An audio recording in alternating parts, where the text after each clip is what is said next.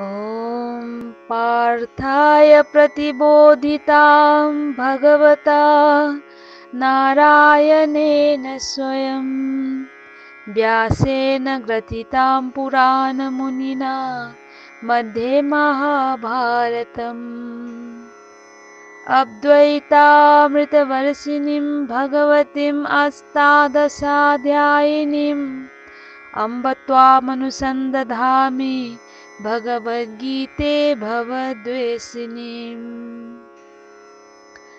नमोऽस्तु ते व्यासविशालबुधे पुल्लारविन्दायतपत्रनेत्र येन त्वया भारततैलपूर्णः प्रज्वालितो ज्ञानमयः प्रदीपः।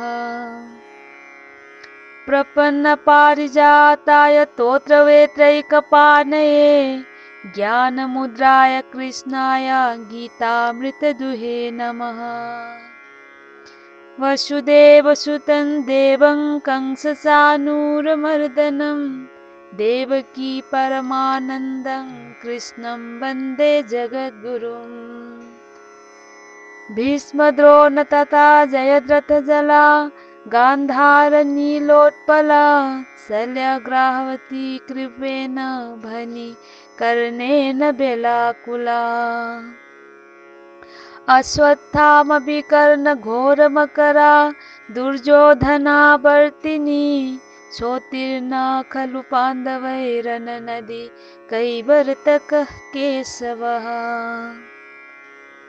पारासर्जवच सरोजममलं गीतार्थगन्धोत्कतं नानाख्यानककेसरं हरिकथा सम्बोधनबोधितम्। लोके सज्जनसत्पदैरहरः पेपीयमानमुदा भूयात् भारतपङ्कजं कलिमलप्रध्वंसिनः श्रेयसे मूकं करोति वाचालं पङ्गुं लङ्घयते गिरिं यत्कृपातमहं वन्दे परमानन्दमाधवम्। यं ब्रह्मा वरुणेन्द्ररुद्रमरुतस्तुन्वन्ति दिव्यैस्तवै। वेदैः साङ्गपदक्रमोपनिषद्दैर्गायन्ति यं सामगाः। ध्यानावस्थिततद्गतेन मनसा पश्यन्ति यं योगिनो यस्यान्तन्न विदुः सुरासुरगणा देवाय तस्मै नमः। ॐ श्रीपरमात्मने नमः। अथ श्रीमद्भगवद्गीता पञ्चदशोऽध्यायः। श्रीभगवानुवाच ऊर्ध्वमूलमदशाखम् अश्वत्थं प्राहुरव्ययम्।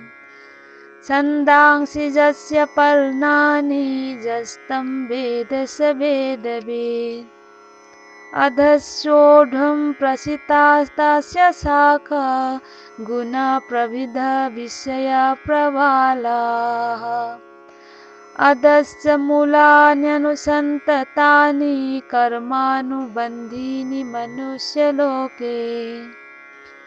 न रूपमस्येह तथोपलभ्यते नान्तो न सार्डिन्न च सम्प्रतिष्ठा अश्वत्थमेनं सुविरूरमूलम् असङ्गशस्त्रेण धीरेण सित्वा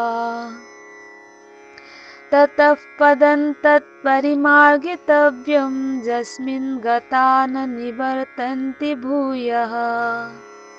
तमेव साध्यं पुरुषं प्रपद्ये यतः प्रवृत्तिप्रसिता पुराणी। निर्माणमोहाजितसङ्गदोषा अध्यात्मनित्या विनिवृत्तकामाः द्वन्द्वैर्विमुक्ता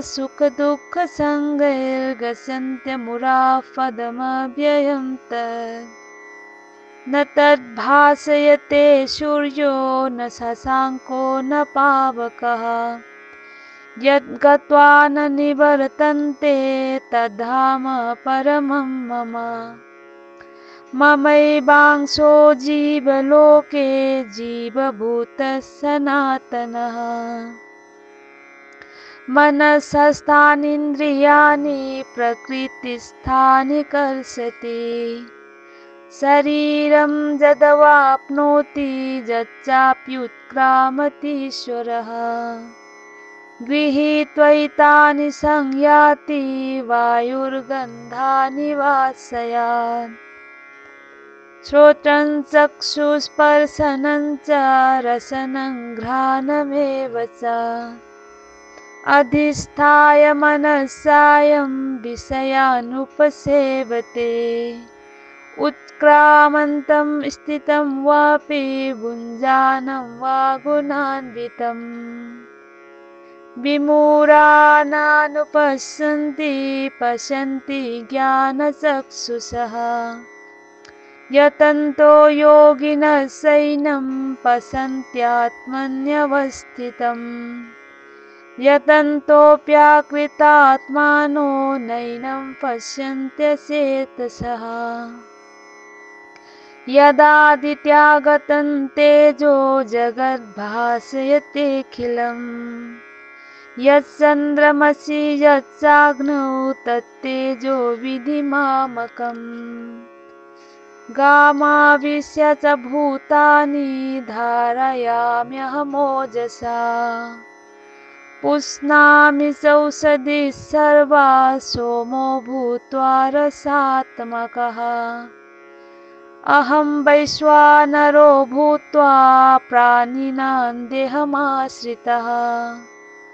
प्राणापानसमायुक्तः पचाम्यन्नं चतुर्विधम् सर्वशासहं हृदि सन्निविष्टो मतः स्मृतिज्ञानमपोहनं च वेदैश्च सर्वैरहमेव वेद्यो वेदान्तकृत् वेदविदेव चाहम् द्वाविमौ पुरुषो लोके सरश्चासर एव च सर सर्वाणि भूतानि कुतस्थो सर उच्यते। उत्तमः पुरुषस्त्वन्य परमात्मेत्युदाहृतः।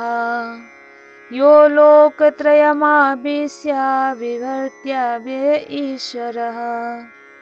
यस्मात् सरमतीतोऽहम् अक्षरादपि चोत्तमः अतोऽस्मि लोके वेदे च प्रतितः पुरुषोत्तमः।